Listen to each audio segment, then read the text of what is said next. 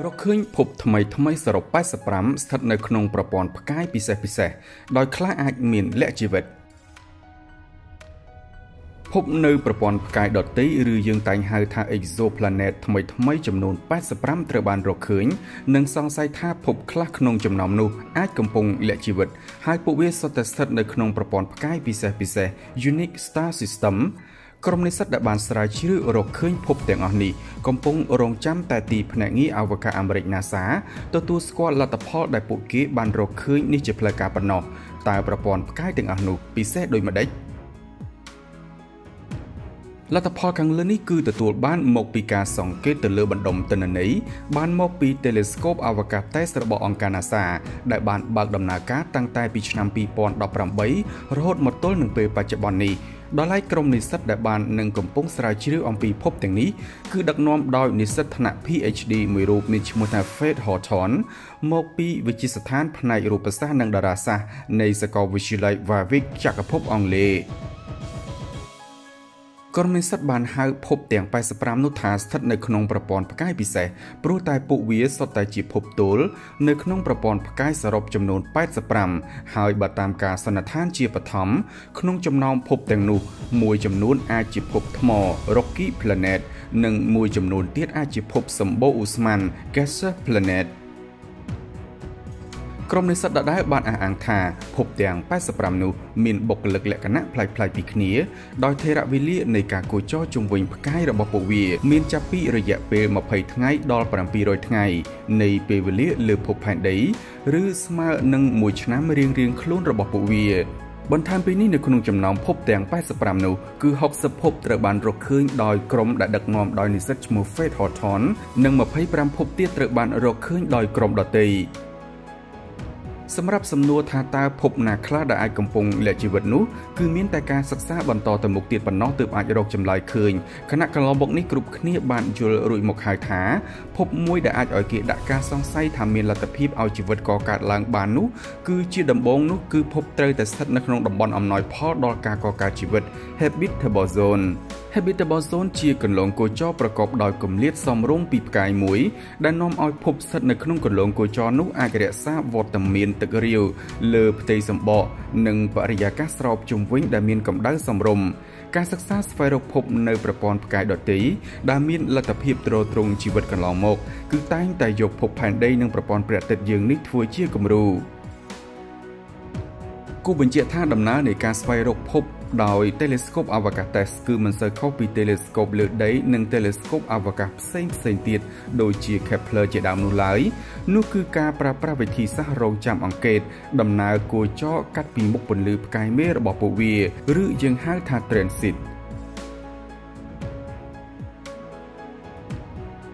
TESS បានបង្កើតសមិទ្ធផលដ៏ច្រើនក៏ដោយសារតែវាទទួលបានមរតកពី Telescope អវកាស Kepler ដែលបានបិទបញ្ចប់បេសកកម្មនៅឆ្នាំ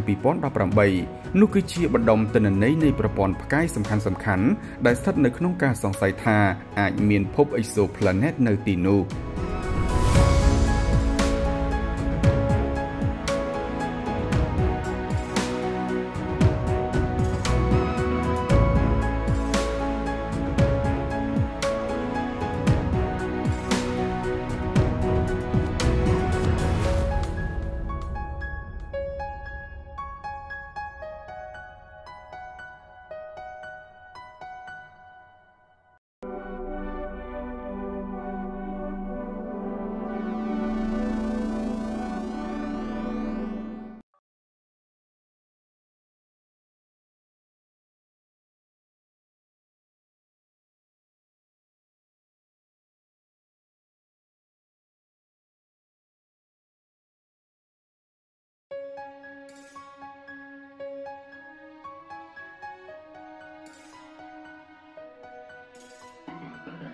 ការយឺតអវកាស Hubble ទើបឆ្លុះឃើញភពក្មេងមួយដែលទើបមានអាយុ5លានឆ្នាំប៉ុណ្ណោះវាមានទំហំប្រហែលនឹងភពប្រហោះយើង ការយឺតអវកាស Hubble របស់អង្គការ NASA បានតម្រង់កែវលែនរបស់វាទៅក្នុងលំហអវកាសហើយបានប្រទះឃើញភពក្មេងមួយដែលមានចម្ងាយប្រមាណ379ឆ្នាំពន្លឺពីផែនដីយើង ដែលមួយឆ្នាំពន្លឺស្មើនឹង9.46 trillion គីឡូម៉ែត្រអ្វីដែលកាន់តែពិសេសនោះភពដែលមានទំហំប្រហាក់ប្រហែលនឹងភពប្រហោះមួយនេះកំពុងតែប្រមូលផ្ដុំរូបរាងរបស់វានៅឡើយដើម្បីคล้ายខ្លួនជាភពពេញវ័យមួយនៅពេលអនាគត។ វាគឺជាភពកំពុងចាប់កំណើតស្ថិតនៅចំកណ្ដាលនៃបណ្ដុំបន្ទះឌីពពកធូលីនិងអ៊ូស្មានភពមួយនេះត្រូវបានដាក់ឈ្មោះថា PDS 70b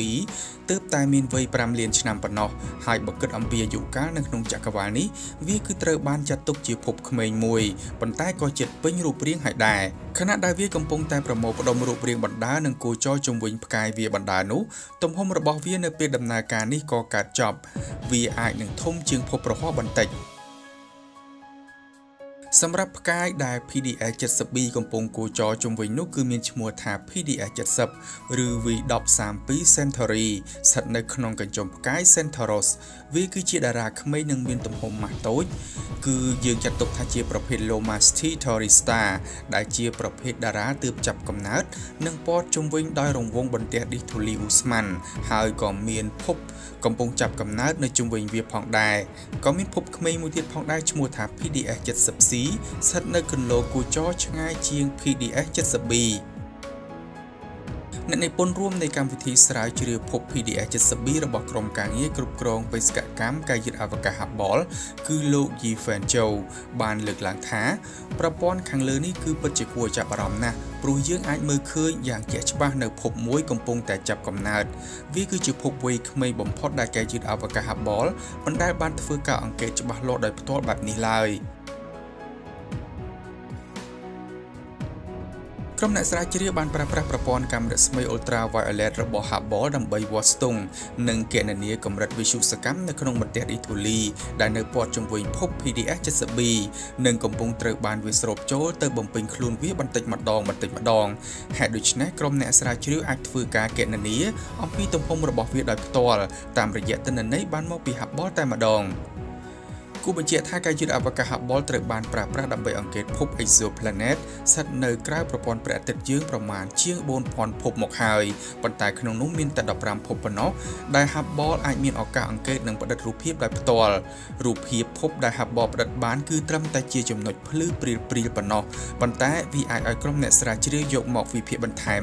និងបង្កើតចេញជាទិន្នន័យអំពីភពទាំងនោះបានទៅតាមប្រព័ន្ធកុំព្យូទ័រ